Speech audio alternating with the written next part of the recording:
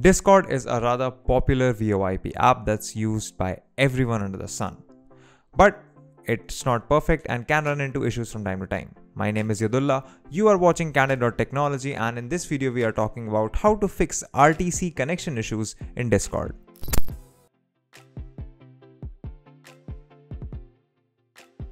Now, there are a bunch of reasons why Discord might suddenly stop working for you. The first solution is to restart Discord. For that, we'll right click the Windows button, head over to the Task Manager. Let's give it a second to open and let me sort the processes by name. Alright, now that we're running, uh, just go ahead and close all of these Discord processes that you see here.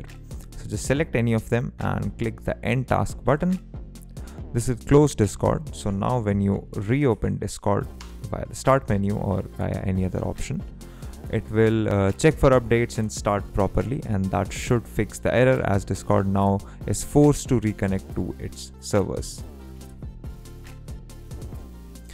And as you can see, I am now in Discord and it seems to be working just fine. The next step is to check whether your internet connection is working and whether Discord servers are online. So as you can see, I am connected to the internet here. And if I open up a browser and run a speed test, yeah, I have enough internet bandwidth going on at the moment for Discord to run properly. So we will go to status.discord.com and you can see that all systems are operational. Now we are only interested in this, the client section. And as you can see, desktop is running, iOS is running, Android is running, and the web app is running. So there are no faults from Discord side. Another problem that can cause the RTC not connecting issue is the quality of service high priority packets that Discord sends.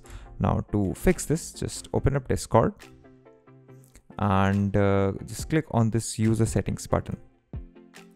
In here, scroll all the way down to voice and video. And now I'll scroll down and uh, you see this quality of service, enable quality of service high, high packet priority option. Uh, just disable it this uh, sometimes uh, this is used to tell routers that the packets coming from discord are high priority but uh, as the description says some routers or ISPs may misbehave when this is set. So just disable it and check if that solves the problem. Another thing that can cause this problem is uh, debug logging within Discord. So once again, open up Discord and uh, let me just close the settings menu. In the user settings, go down to voice and video. Scroll all the way down and disable the debug logging option. This option can, uh, while this is supposed to save debug logs, this sometimes causes problems where Discord can't connect to its servers. So if you're facing problems like that, you can just disable this slider. Alright, next up, your DNS problems or DNS configurations on your PC can also cause Discord to run into such issues. To fix those, we're going to press the Windows uh, icon and search for command prompt we'll run it as administrator. Give it the permissions it needs. And now we're going to flush our DNS so I will start off by typing in the first command which is ipconfig slash flush DNS press enter. All right now we'll type in the next command which is ipconfig slash register DNS press enter. Give it a moment to run All right. Okay, next up, we're going to type in ipconfig slash release. All of these commands will be available in the description below. All right, now that's run. Finally, we will type in ipconfig slash renew.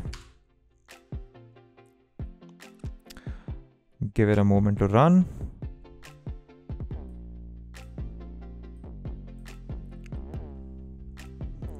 Yeah as you can see that command has run and uh, finally netsh winsock reset.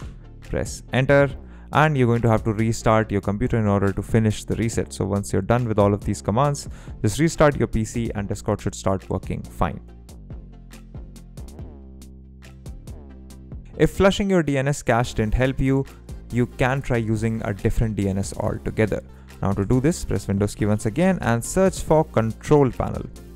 Uh, click this to open, head over to network and sharing center, click change adapter settings. In here, select the adapter that you're using. I'm using my Wi-Fi, so I'm just going to double click this, head over to properties. In here, select uh, Internet Protocol version 4, TCP IPv4. Once again, double click and in the DNS section, click uh, check the use the following DNS server addresses option. Now I'll have some free DNS provider options for you on the screen and you can use either of them or you can use a DNS of your own choice. Once you're done, finalize the settings, click OK to save them, restart your PC or at least restart your router and then try again. If DNS settings weren't the cause of your problems, then it might just be Discord itself and it may be time to reinstall the app. Right click the Windows menu and click on install apps. This will show you a list of all apps that are currently installed on your PC as you would guess. So let me just give this a second to load. And now if I go down the list, I should see Discord. Click these three buttons and click on uninstall. It will ask for a confirmation. Click uninstall again. And once Discord has been uninstalled completely, you can try uh, go ahead and re-download the client to see if that works. Last but not least, if nothing else works, you can always use the Discord web app. So just open your browser and search for Discord or go to discord.com and click on open Discord in your browser. Click it and it'll either ask you to log in or if you've already logged in, it should just open up and that's how you can fix these problems in Discord. If you like these videos, consider subscribing, give us a thumbs up, press the bell icon and tell us in the comments below what more such content can we make for you. If you want to know more about tech, visit our website candid.technology, follow us on social media, follow me on Instagram or Twitter, and we'll see you in the next video.